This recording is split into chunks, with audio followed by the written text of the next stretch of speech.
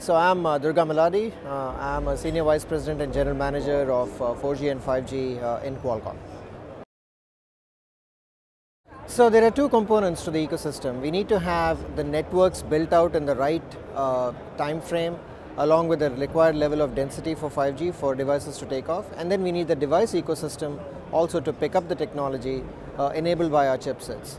So it's been a really pleasant journey over the last few years as we've jointly worked with our infrastructure partners including with Samsung uh, and with some of the others. Well, 2019 is going to be predominantly driven by mobile broadband. But it's also important to understand that 2019 is when we are laying the foundation for what's going to come next in 5G.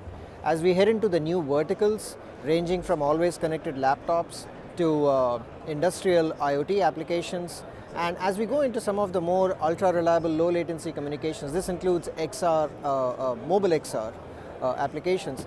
That is what is actually going to be coming in 2020 as well. But 2019, we're already seeding the ground and really looking forward to that.